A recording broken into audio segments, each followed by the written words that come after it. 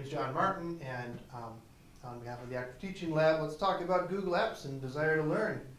Um, Google Apps has is a huge, by this overwhelming graphic, you can see that it's a huge suite of tools, and Desire to Learn is a really interesting uh, learning management system as well. But the two have not been playing together super well lately. Um, it's not as intuitive as it should be. But let's look at this and, and ask the question, why are we interested in using Google Apps in Desire to Learn? Well, the first thing is, so many students are familiar with Google already. There are over 100, not 100, I just looked this up today, 1.7 billion Google users right now. So everybody, feels like, knows Google and uses Google. They're familiar with the Google ecosystem the Google system is, is set up to be very easy and accessible, even at the cost of some um, fancier design pieces. So they're familiar tools and it's easy. Um, if we can keep, if we can use those easy tools to keep students on the learning management system by embedding them, then they don't have to leave the learning management system. We don't have to, we don't have to worry about them getting lost in some ways. So that's good. And it's also for instructors, it's great because you can manage content easier than you can through the D2L um, mechanisms.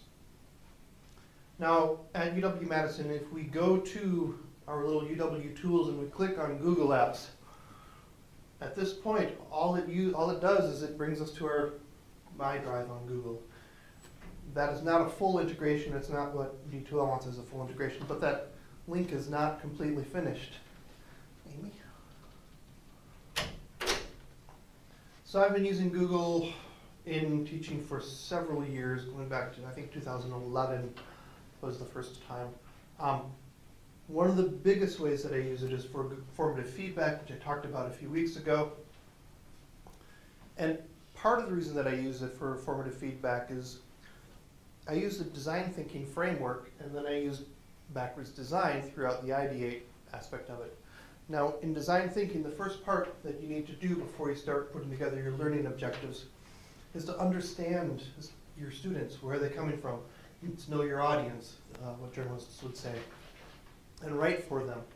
As an instructional designer, as an instructor, we write our curriculum for the users, for the learners that we have. So, how do we learn about them? Well, it's great if you could ask them ahead of time, but if not, even on the first week of class, if you can ask them, they'll, they'll, they'll learn and you'll be able to make some modifications accordingly. So I use Google Forms for that. And how do, how do they like it? They like it. I get some good information about it. Um, and it's great. You can also use the Google Forms for anonymous post-class feedback. So at the end of the, at the end of the class, after they go home, you can say, hey, was the stickiest point about today? What, what was the thing that you had trouble learning?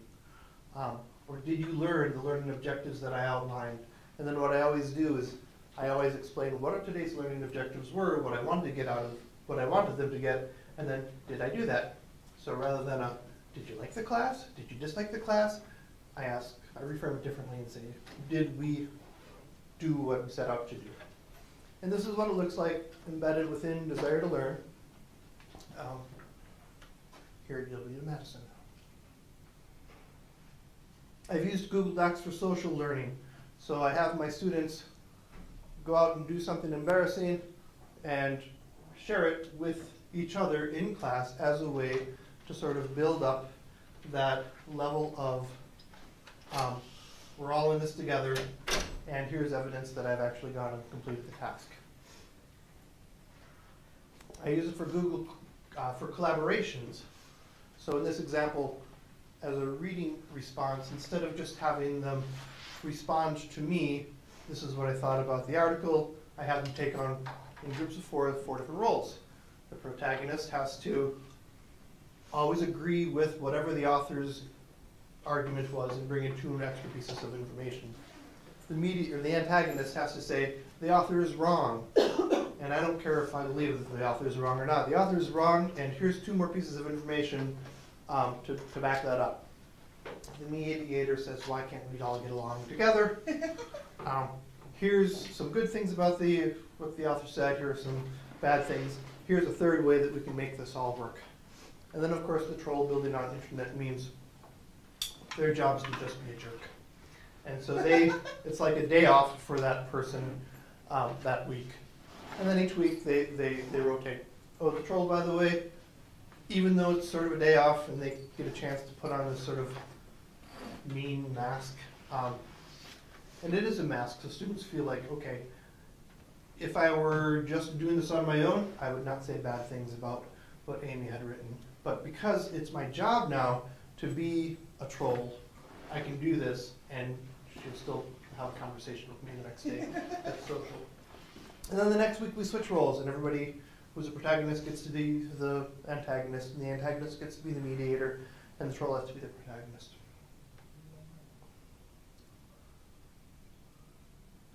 Um, they liked, they thought it was very positive using the Google Doc integration. Um, and again, these are just reactions that I got at the end of the semester.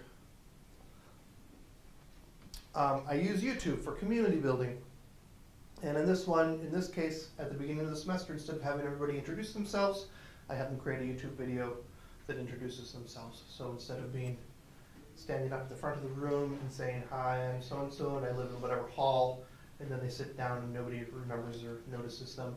This way you can see them in their rooms, you can see what posters they have on the wall. It becomes a little bit more personal. They get a chance to practice it. Really, it's only like a three-minute assignment, but they will redo the assignments over and over and over again until they get the lighting right and, oh, I messed up that word, so they'll do it over again. So they really think about what it is that they want to share with their, with their classmates. And then again, that group embarrassment of everybody has to do this really pulls them together. Uh, they liked it. I've used Blogger for social learning, and the nice thing about this was they can very quickly scan to see what each other has done. And so, and if they clicked on any one of these, it would uh, zoom into a full-size uh, page. Now, there are many different ways of, of, uh, of, of, formatting this automatically built into Blogger. Um, and it's kind of a great way for them to do self-checks on their assignments. Am I doing the assignment up to the level of, you know, Joe, or, or am I slacking? Does mine look a little bit not as good? This is what it looks like when embedded in D2L, just as an iframe. So it's not as accessible for them to see it, uh, for them to go to it and, and read in it, but just being in the learning management system, it's like another oh yeah, I should go check on that. Or, oh, hey, what's that? And then they click on it and they get out and, and they can get to it. We've used Google Plus Community for social learning classes that I've worked with, where building on this idea of a Facebook feed, or the, the feed, people can put share their own videos, add a description, uh, they can plus one it, they can add comments to it, and that's kind of a neat thing. Now that does not embed in D2L very well, other than that sort of reminder of like, hey, we've got this extra thing. Do you want to go back and, and see it? And it's sort of another visual reminder to, oh yeah, there's this extra thing. So it's just, it's a link, but it's a prettier looking link. So it can't be like an RSS feed kind of thing? They do not have that RSS feed set up, or any way to even, they don't even let you embed the iframe, Mm. which I've been struggling with for a while, because I don't know why they didn't let us do that. So that. those radio buttons you have on there, did you use Google Forms for So this is a Google form over there, yeah. Yeah. And that's just another way to use Google Forms for, you know, what do you want for, you know, sign-up sheets, or what do we want to do today? Um, you can use Google Maps and create a Google Map um, widget in D2L to geographically contextualize things. So you could say something like, all right, here's a link to the map. If you click on that, you, you'll go to that uh, Google My Map. And you can say, indicate where you're from. So you can have them all sort of, oh, we're all in Ogg Hall, or, or something like that. Or you can say, you know, go locate the different examples of Frank Lloyd Wright's architecture, and let's build a collaborative map that way. In many ways, the biggest thing for instructors, though, is that Google Docs makes the course file administration so much easier. And it's because Google has this ability, this amazing sharing system that we can have, um, once it's embedded, as the instructor, I don't have to go into my Google Apps, I can just go to my course site, and all of the opportunities for me to, to edit are available right now.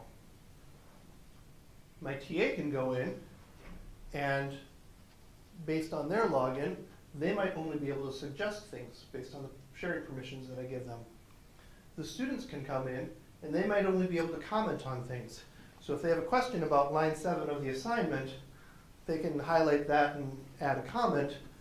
I will automatically get a notification in the email saying, so-and-so has commented on this, and now I know, not that they're having trouble with the assignment, but that they're having trouble with line seven of the assignment, and I can go in and I can make edits to that, and I can send something out to the rest of the class if they're having troubles. Now, the problem with that is if you don't set sharing for other people to be able to see it, they won't even be able to see it, and it'll look like this in, in your Google Doc, or in your activity, uh, in D2L, in your course site. So you have to let them at least, if they have that link, they, they can view it. And probably don't have to go into that. That's actually probably the big part of, of, of, what I wanted to say in this, this first ten minutes. Um, but, here, let's, the sharing we can go through, and actually we'll talk about that um, in detail as we go through the sheet. So, that's what I've got to say as far as the story aspect of this. Um, and now we can freeform it.